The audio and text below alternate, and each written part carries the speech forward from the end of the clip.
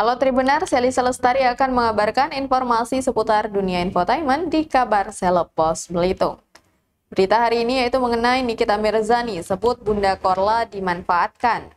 Sempat adu mulut di live streaming Instagram.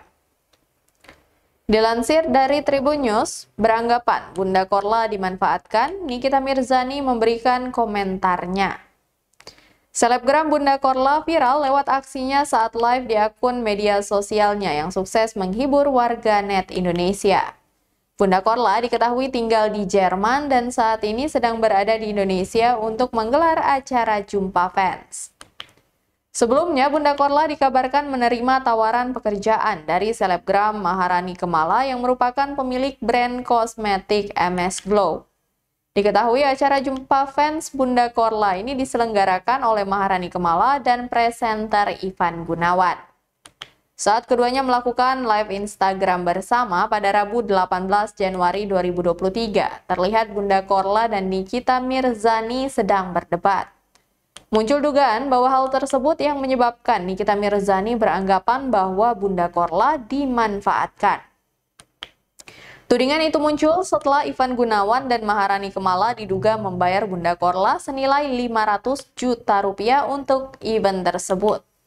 Nikita menyebut lebih baik Bunda Korla datang kepadanya dan akan ia beri uang sebesar 500 juta rupiah tanpa embel apa pun.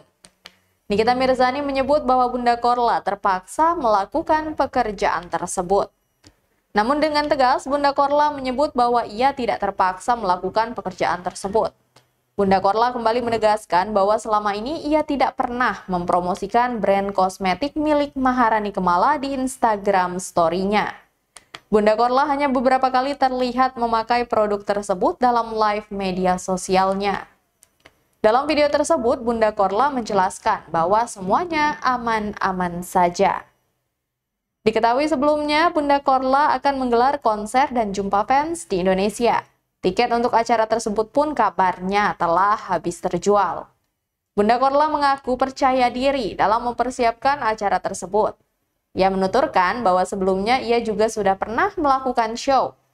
Bunda Korla bersyukur banyak yang senang dengan kedatangannya ke Indonesia untuk melakukan show.